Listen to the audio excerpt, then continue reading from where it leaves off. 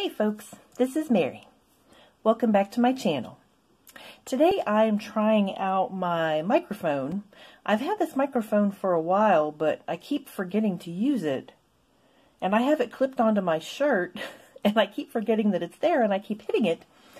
So hopefully the audio will turn out okay, and um, there won't be a lot of me hitting the microphone, which I know is a very unpleasant sound. So, today is Sunday, and recently I was looking at some YouTube videos, and I found one called Swatching Sunday. And it was a woman swatching her different watercolors. And apparently this was a series that she did. She had different brands of watercolors, and she swatched different ones on Sundays. And I thought, what a wonderful idea.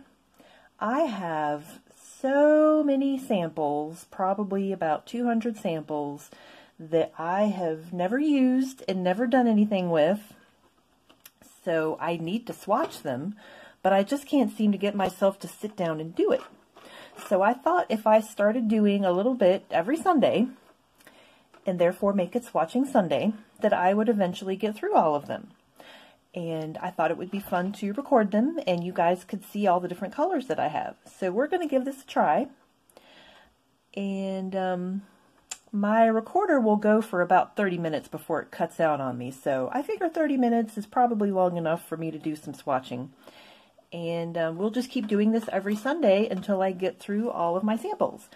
Now, these that have kind of the blob on top of them, those are my oldest samples, the ones that I originally bought when I first got into fountain pens, probably about two or three years ago.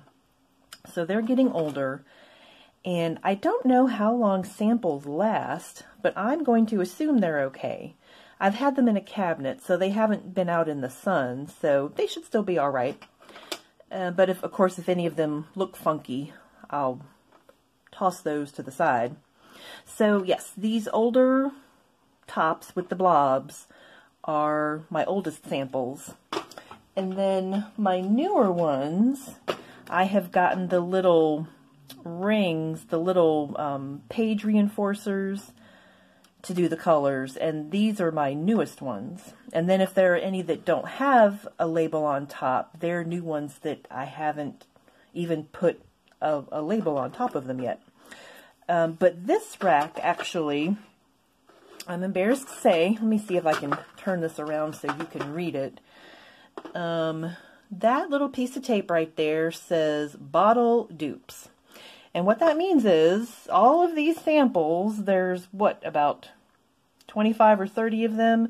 These are samples that I purchased and never did anything with and then went on to purchase a bottle of ink. So these are just duplicate samples that I have hanging out and I don't know what to do with them. Um, actually, it might be fun to do a little giveaway if anybody's looking for some samples because I have a bunch of them.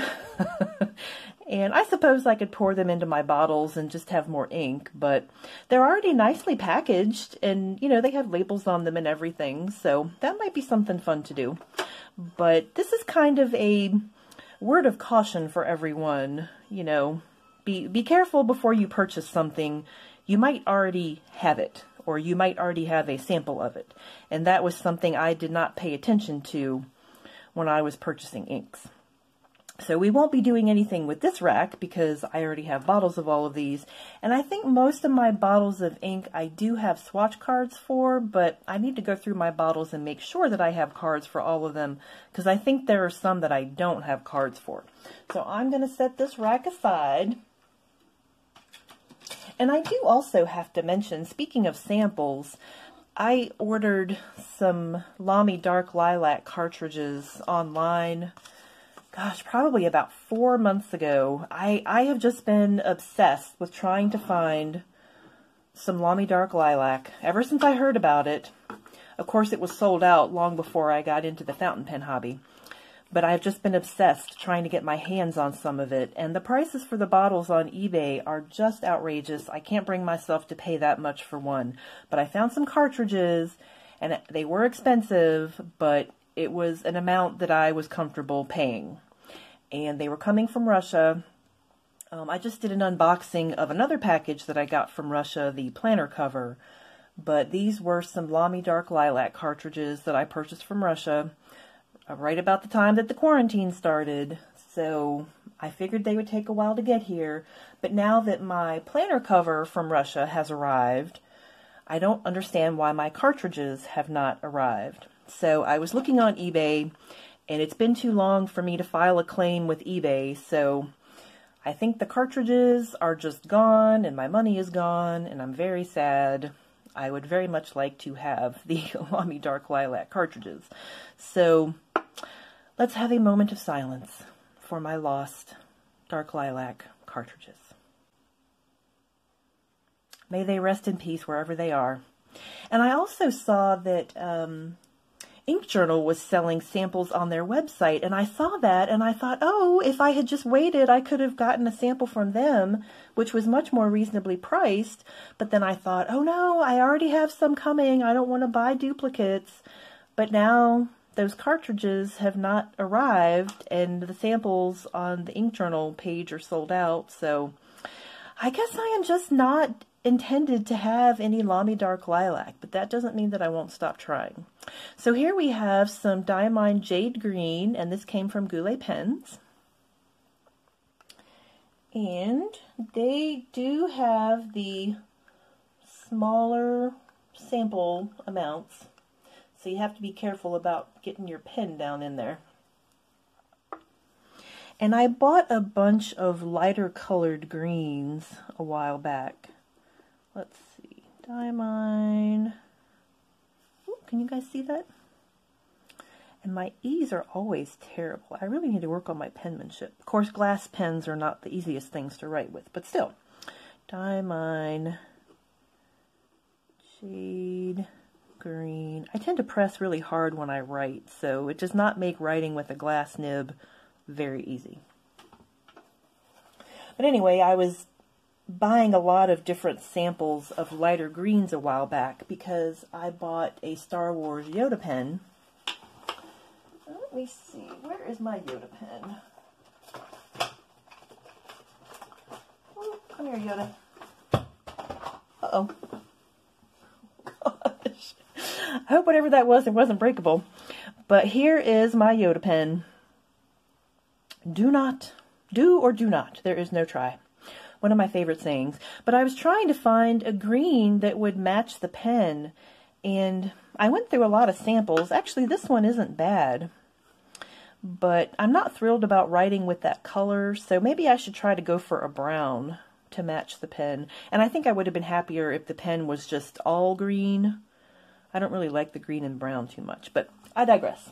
So I bought all these green samples to match my Yoda pen, but then I never actually put them in the pen. I just bought all these green samples and they sat in the cabinet for the past couple of years. Um, I have used the pen. I just used it with the cartridge that it came with. And, and I like the pen. I mean, it's a Sheaffer pen, and Sheaffer pens are really nice. And it has Yoda on it, so what's bad about that?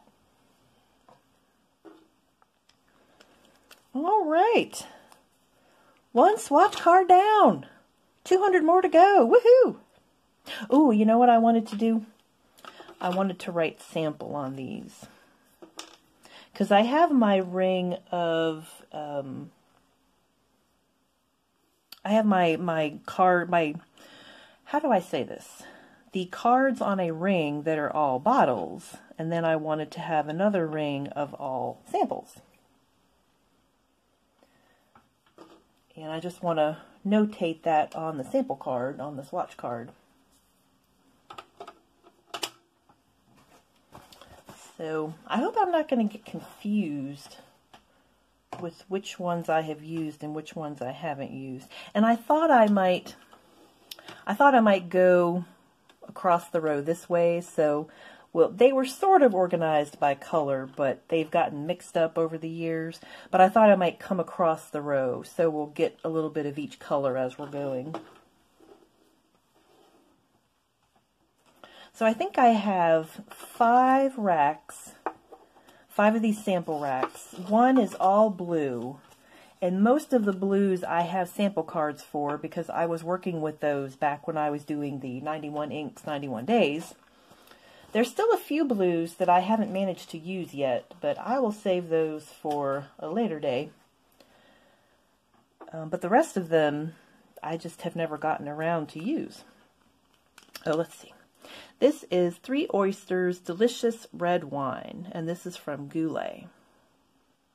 And a lot of these samples that I've ordered, they were either on sale on the Goulet website, or um, I got them in the the random sample sets.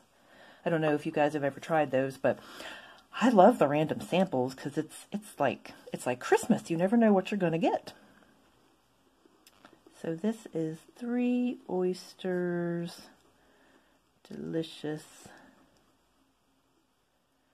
red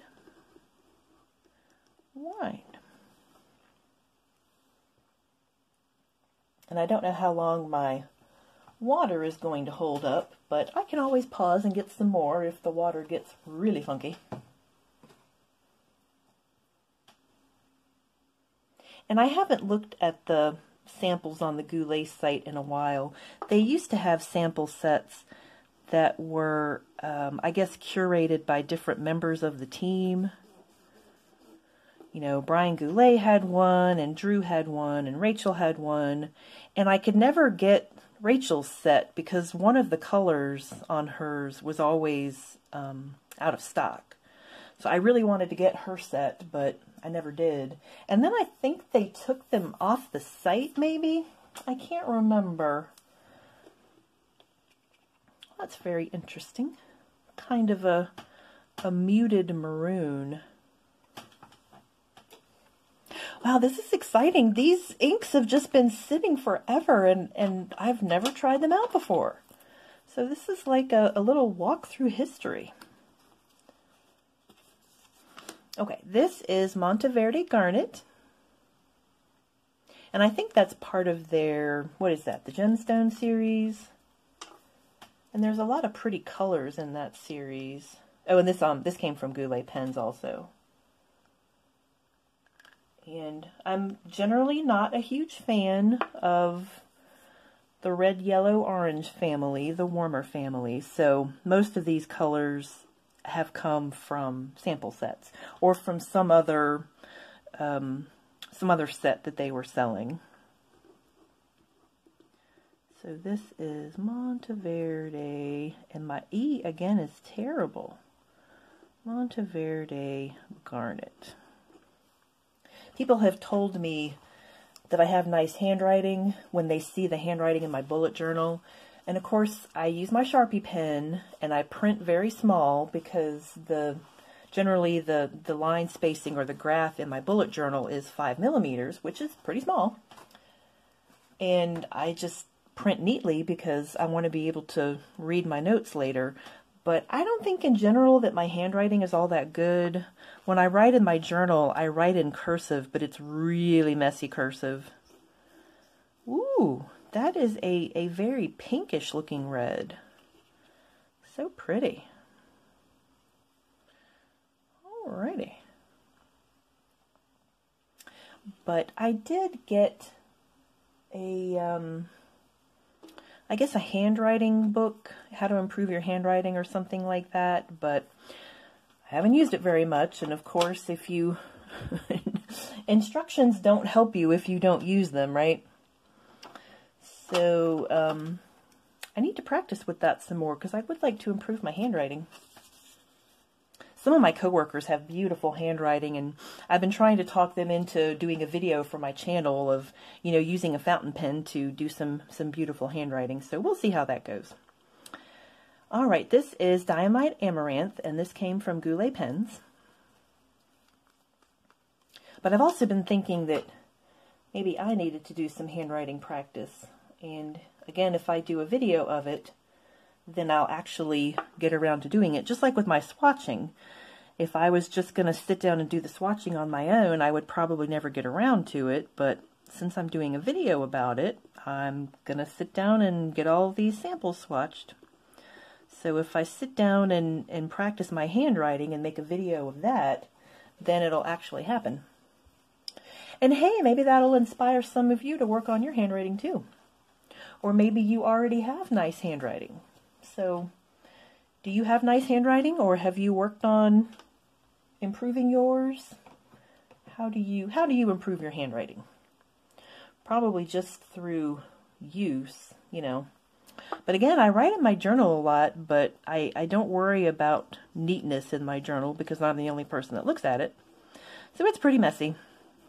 But if I was writing letters to people or something like that, I would probably slow down and try to write neater to make sure that the other person could actually read my letter. And I do have some people that I, I owe letters to, so there's something else I need to get cracking on. All right, that is really kind of a pale, I don't know, it's kind of a dark pink, but kind of an unsaturated dark pink, if that makes sense. Amaranth. I know amaranth is a grain. It's a teeny tiny grain, but it's not pink. I think it's white or beige or something like that. So, again, I wonder where they come up with their with their ink names sometimes. Very interesting. Okay, this is Kaweco Midnight Blue, and this came from inkjournal.com. I've only ordered one ink journal box and it was this Kaweco one because I was really interested in the ink colors and I was interested in the um, the Kaweco Perkeo that they included with it.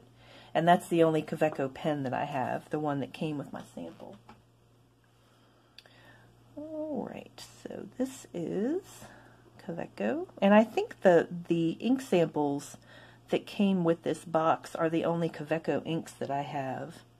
I haven't purchased any other samples, and I don't have any bottles of Kaweco ink. Midnight Blue.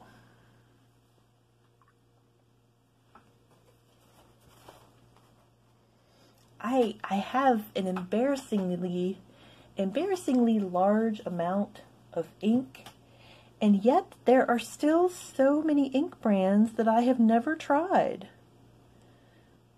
Like Kaweco and Akkerman, I think I've tried maybe one Akkerman ink. Ooh. Oh wow, this one is right up my alley.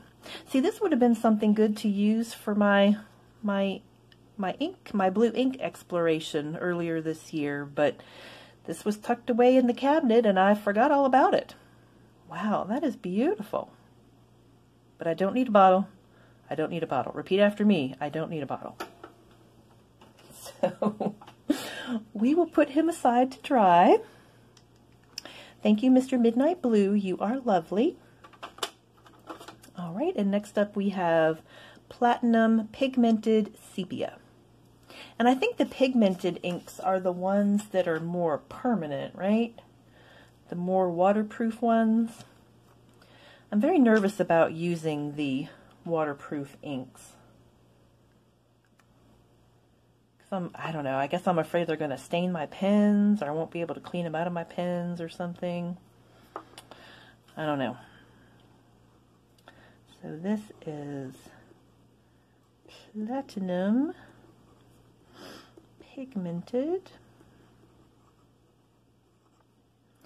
sepia. There I go with the E's again. So I think the there's pigmented inks and there's dye-based inks. And the dye-based ones are the ones that are generally not waterproof, that clean up really easily and perhaps are more gentle on a pen. And then the pigmented ones are more permanent, but I don't know if they're necessarily harder on pens. Um, the gentleman that I bought my vintage pens from, he did tell me to only use dye-based inks in the pens and not the pigmented inks. But again, I am too scared to use anything in my vintage pens other than Waterman Serenity Blue. That's the only ink I've put in my pens, and I'm perfectly happy with that. I, I think Serenity Blue is a lovely color, and I enjoy using it in my pens. Now, I do have um, a Waterman Flex pen that is just beautiful. Okay. So this, again, is a very, um, what's the word I'm looking for? Un, unsaturated, an unsaturated color. I need to get better at describing colors. It, it seems rather pale, rather unsaturated. So we'll see how he looks when he dries. But I have this Waterman Flex pen. It's a gorgeous little gold pen with a gold nib. It's so beautiful. This is Three Oysters I Color You Doldem from Goulet Pens. But um, I've been using the Serenity Blue in all of my other vintage pens. Got a little spot of water right there. But I was thinking that some black ink would look really beautiful in that Waterman pen. But again, I'm very nervous about putting any kind of permanent inks that might damage the pen. I'm just nervous about using inks because I have a giant bottle of Noodler's Heart of Darkness and I just wouldn't be comfortable using the Heart of Darkness in this vintage pen, this vintage pen that's probably at least 100 years old. So I bought several of what I hope are more gentle black inks. And again, I have all these samples of these black inks that I've never done anything with, so I need to do, I guess I need to do a, a video where I swatch all of these um, black inks to see which one I like. Can I spell color? My goodness. I color you Doldem. But I wanted to try out these different black inks to see which one, I guess which one looks the darkest. I really like my black inks to just be black, black, black. Super black. Just blacker than a black hole. Which is why I love Heart of Darkness because it is just so dark and so saturated. But I think the more gentle black inks that would be good in my vintage pen would probably be less saturated and maybe less black. But since I haven't tried any of them yet, I really can't say what they'll look like. Wow. This is a very interesting color. I don't know why, but I was thinking this was kind of a brown.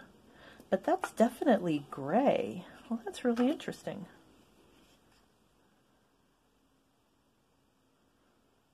Get a little bit of a drip out of him. Just a little bit. Maybe we need a little bit more, a little bit more ink on there.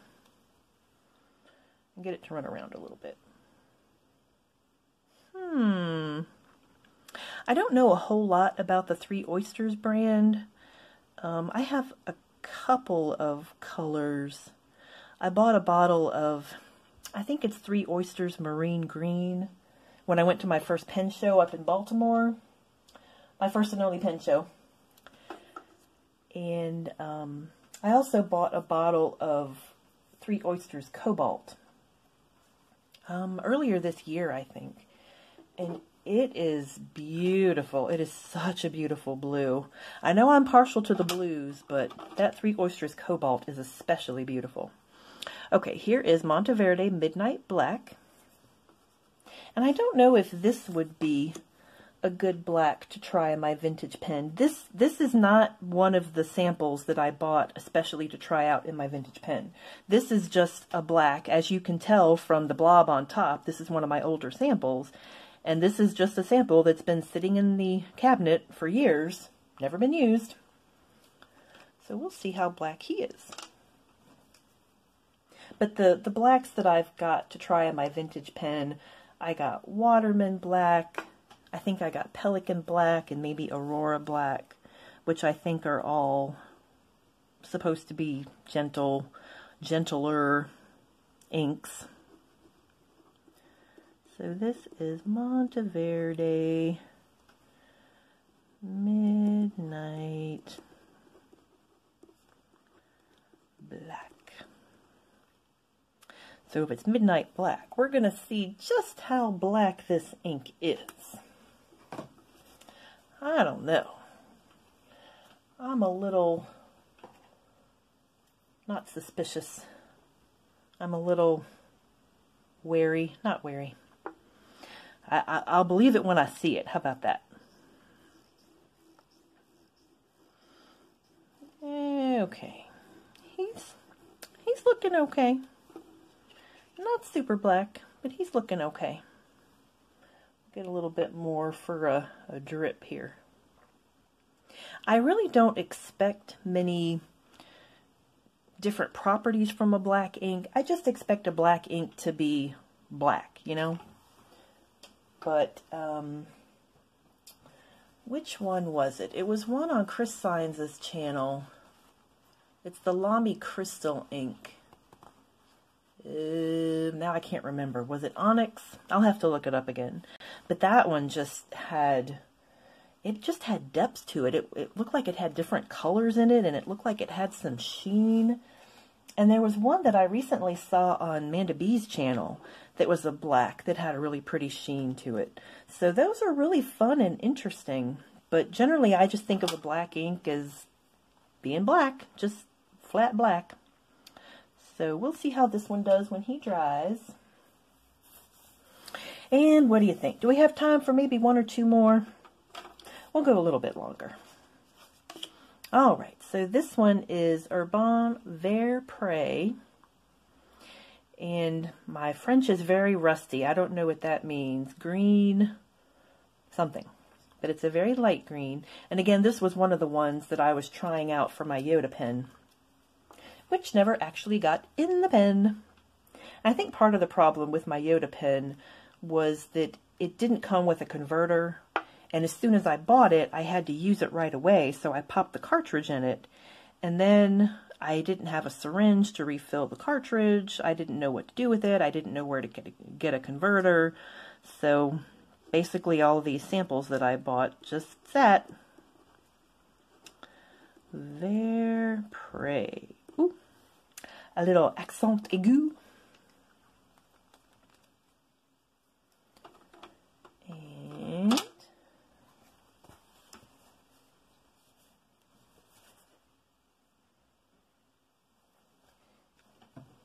Alrighty. Oh, well, good heavens, I put the sample away. and I didn't do my swatch, which is the whole point of these cards. You can't have a swatch card without a swatch. I don't have a whole lot of these Herbin inks either. I have um, Eclat de Saphir. Eclat, Eclat de Saphir. Again, my French is very rusty. But I think that's the only bottle of Herbin ink that I have. Ooh, that is really, really light.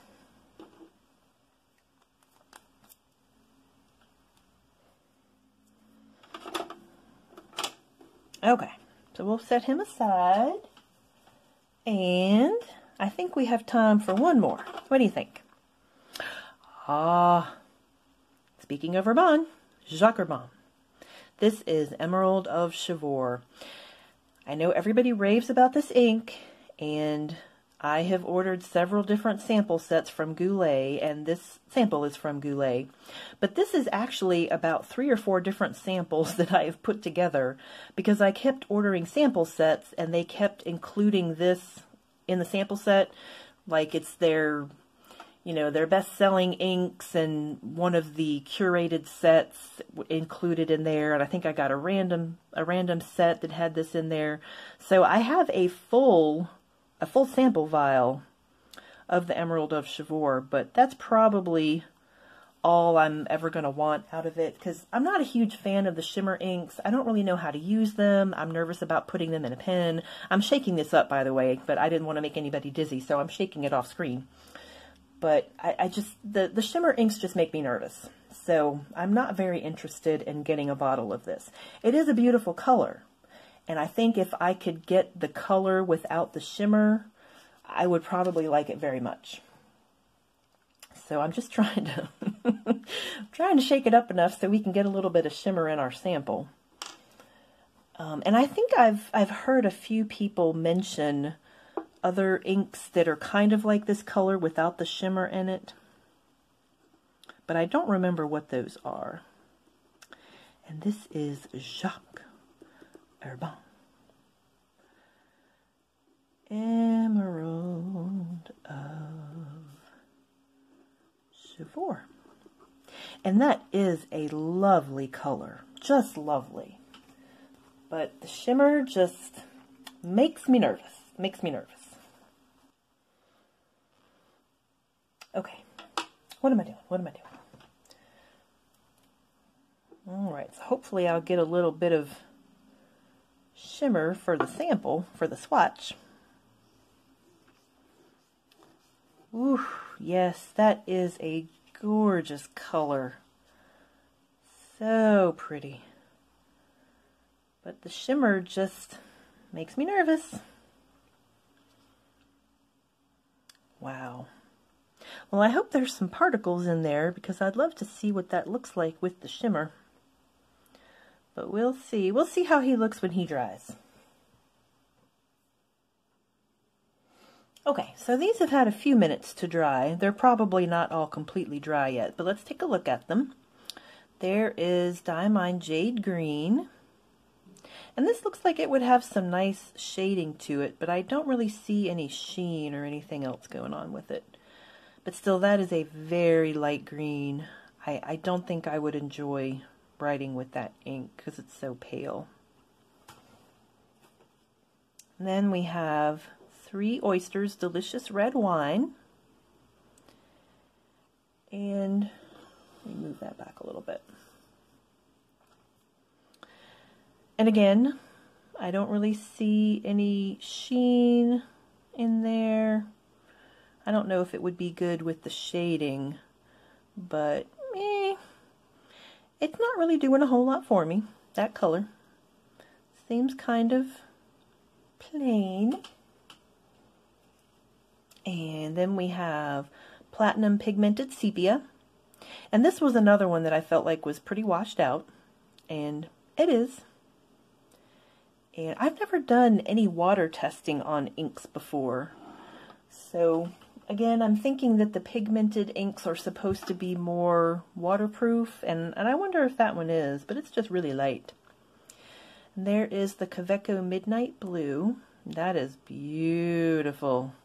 It's got some nice red sheen to it. Can you see the sheen? I'm trying to get it in the light a little bit here. It just has a little bit of sheen right around the edge here. And I'm not really seeing it in the camera. But repeat after me. I do not need a bottle of this ink. It's beautiful. I do not need a bottle of that ink. All right. This is Monteverde Garnet. And I have to say, I am a huge fan of Monteverde inks. They're, they're really affordable. They have such a huge variety of colors and they have really nice properties to them. Although I did hear that the prices are going up. So let's not all get into panic buying mode. But I think their bottles what did I hear? I think I heard it on the Anderson podcast. I think they said the the little bottles are going up to ten dollars, and the what is it? The ninety milliliter bottles are going up to like twenty dollars. That seems like a lot. I mean, it is ninety milliliters of ink, but still, going from fifteen to twenty seems like a big jump. But this is a lovely color, and I like the little it's not really sheen, but there's something going on around the edge here. I guess that's kind of a halo. But that's a really nice color. And of course, whenever I start looking at, at ink swatches, the first thing I think of is comparing with other inks. And I'm wondering how this would compare with Sailor Jentle Grenade. I bet both of those would look interesting together. But that's something to try for a different day. Today we're just looking at some samples. So here is Monteverde Midnight Black. And he's not looking very saturated, but I'm sure on this watercolor paper it wouldn't look very saturated. And I would love to compare this with Heart of Darkness, which is my favorite black. It was my first black, and for a long time it was my only black. But I have gotten an, another couple of bottles since then. And here's Diamine Amaranth. That looks like the pale sister of Garnet. So again, it's looking kind of washed out. All these three, let me, let me move the rack so we've got a little bit better light. But these three are all looking kind of pale and washed out, which I, I don't generally like. Actually, these four are looking kind of washed out, and that's really not my favorite in an ink color. I like more vibrant inks, more saturated inks. I'm trying to move my cup of water out of the way. Let's see. Okay, who's left? We have the Three Oysters I Color You Doldam. He looks like he's still drying a little bit. And again, it's that very pale color. Why did I end up ordering so many of these really pale colors? I don't know. I was just ordering stuff. Some things came randomly. Some things were on sale. I bought a lot of samples when they were on sale. And um, and that I think that was a mistake that I made early on. I bought stuff that was on sale just because it was on sale, not necessarily because I was interested in it. And I'm not a huge fan of gray, but um, I don't know. There might be some stuff going on in there. Let me see. I feel like I'm missing a color. No?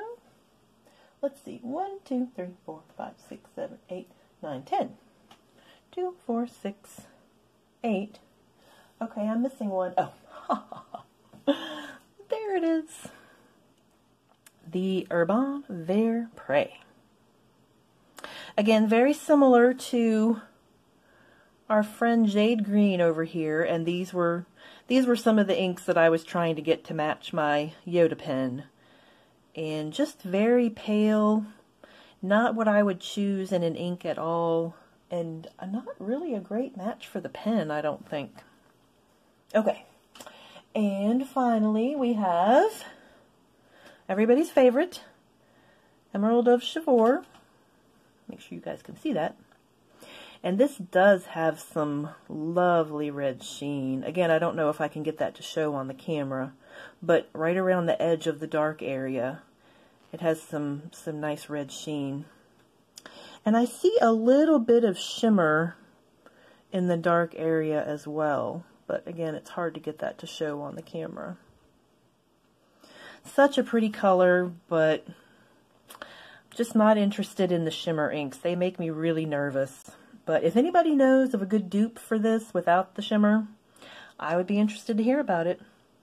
All right, so this was it for our very first Swatching Sunday as I make my way through all of my many old samples that I've never used. And we got through 10 this time. Maybe next time we can get through a few more if, if I don't yak quite so much. But I don't seem to be able to not yak, but we'll see how I do. So uh, I hope you enjoyed this. And if so, don't forget to subscribe, and I will see you again soon. Take care. Bye-bye.